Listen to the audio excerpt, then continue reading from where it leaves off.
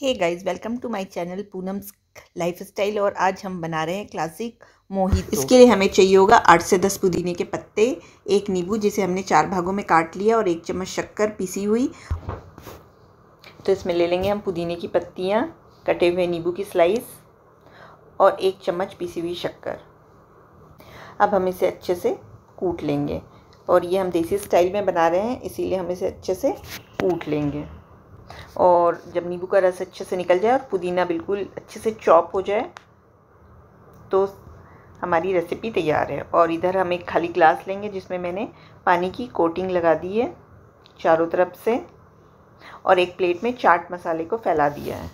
उसको मैंने चारों तरफ़ से घुमा दिया, नींबू ग्लास को उल्टा रख के। तो अब देखिए कितनी अच्छी कोटिंग हो गई है और अब हम इसमें जो हमने पेस्ट बनाया था वो इसमें डाल देंगे।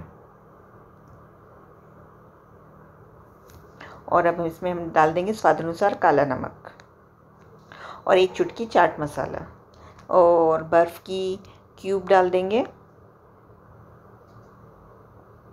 और हमने इसमें डाल दिया स्प्राइट।